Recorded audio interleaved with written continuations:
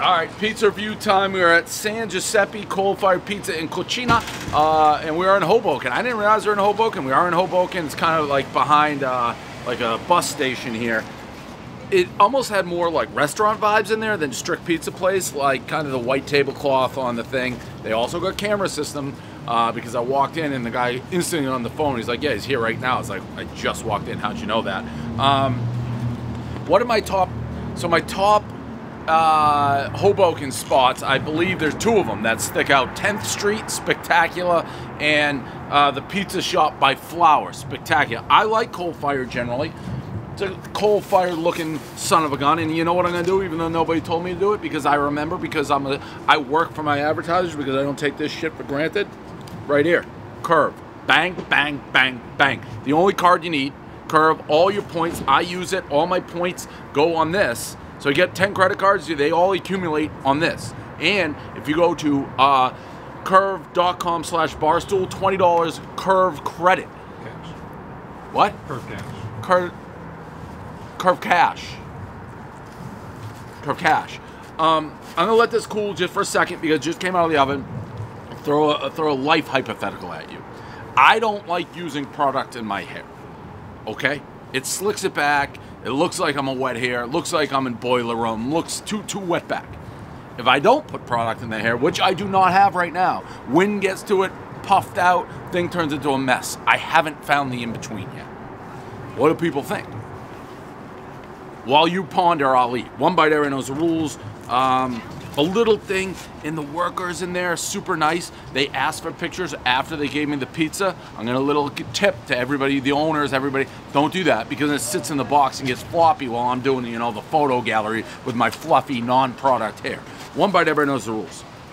See that flop could be because of that.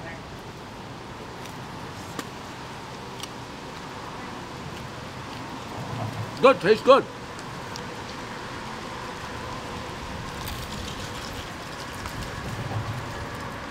Super light. I like super light.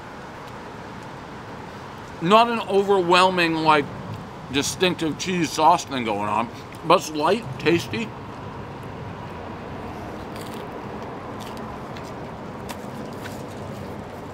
Thin. Just not distinctive. Like,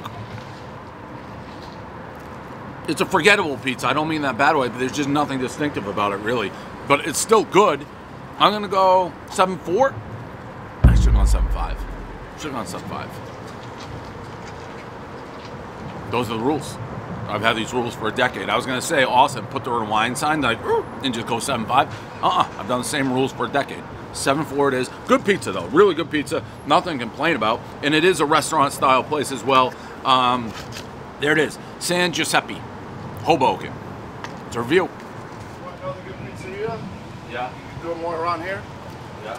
Um, there's one on in West New York. It's like two towns over. It's my favorite pizzeria. What's it called? Sal's Pizzeria. Best plain slices that you have around town. Have you gone to salt and bread? What is that? Bread and salt? No, the best uh, plain plain slices, cheese slices, basically. All right. Well, did you have bread and salt though? Of course. You don't think that's a good cheese slice? Bread and salt? Yeah. No. Really? Is that? That was great. really? Yeah. Where at? Bread and salt. Oh, bread and salt. I've never been there. I thought you were talking about just the. the The ingredients? yes. this guy. Like, why would I want to eat that? It's like not even 10 minutes from here. If you're going now, I can Not tell you to 19. get you a 19. 19.